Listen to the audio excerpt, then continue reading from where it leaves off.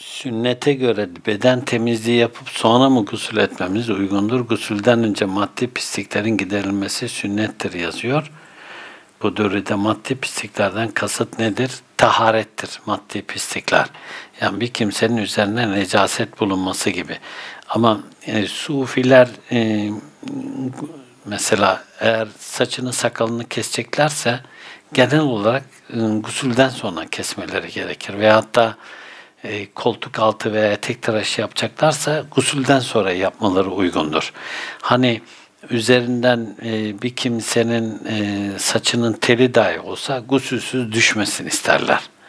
Bu sufi terbiyesidir ama e, bunun böyle olması uygundur. Mesela tırnağını dahi kesecekse gusülsüz, gusülsüz kesmek istemezler.